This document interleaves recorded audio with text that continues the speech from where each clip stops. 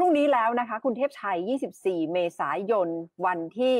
ทั้งอาเซียนทั้งโลกน่าจะรอคอยอยู่นะคะ ว่าการประชุมสุดยอดผู้นำอาเซียนเรื่องวิกฤตเมียนมาจะเกิดอะไรขึ้นค่ะ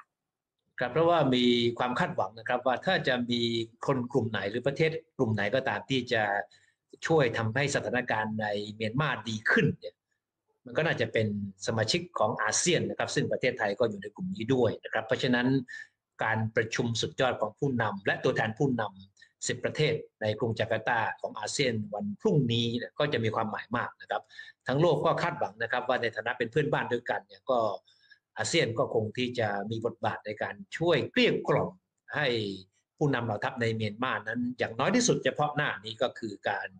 ลดระดับของการใช้ความรุนแรงกับผู้ที่ออกมาเรียกร้องประชาธิปไตยที่ออกมาต่อต้านการยึดอำนาจของทหาร นะครับแต่ว่าก็เป็นคำถามใหญ่นะครับว่าสุดท้ายแล้ว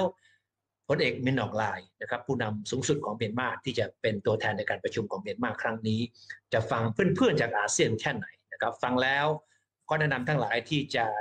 มีการพูดคุยกันในวันพรุ่งนี้นั้น ทางเมียนมาจะเอาไปปฏิบัติตามแค่ไหนค่ะ ทางไทยเองก็จะมีรัฐมนตรีว่าการกระทรวงการต่างประเทศ คุณดอนปรมัตวินัยในฐานะ ที่เป็นรองนายกรัฐมนตรี และเป็นทูตพิเศษ เป็นตัวแทนของพลเอกประยุทธ์จันโอชาไปร่วมประชุมนะคะ บทบาทของไทย จุดยืนของไทยในครั้งนี้ก็น่าจะมีน้ำหนักไม่น้อยนะคะ ในฐานะที่เป็นเพื่อนบ้านที่ใกล้ชิดกับเมียนมา พรมแดนติดกันไม่ต่ำกว่า 2,401 กิโลเมตร เพราะฉะนั้น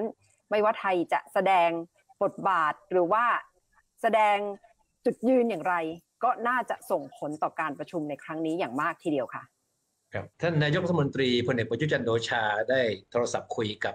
โจโกวิโดโดนะครับประธานาธิบดีอินโดนีเซีย เพื่ออธิบายเหตุผลว่าทำไมไม่สามารถที่จะไปร่วมประชุมด้วยตัวเองได้นะครับก็ชัดเจนครับว่าประเทศไทยกำลังเผชิญกับการระบาดของโควิด -19 รอบใหม่ รอบที่สามนี้ ก็ก็คงเป็นเหตุผลชัดเจนนะครับว่าท่านต้องอยู่ที่นี่นะครับเพื่อที่จะจัดการกับปัญหา เพราะว่าอย่าลืมนะครับว่า ใครก็ตามที่ไปร่วมประชุมที่จาการ์ตาในช่วงเวลานี้ในขณะที่โควิด -19 ยังระบาดอยู่เนี่ยกลับถึงบ้านก็ต้องมีการกักตัวเองอยู่นะครับ อย่างคุณดอนกับคณะที่จะไปนะกลับมาเมืองไทยแล้วต้องกักตัว 10 วันนะครับเพราะฉะนั้นคำอธิบายของ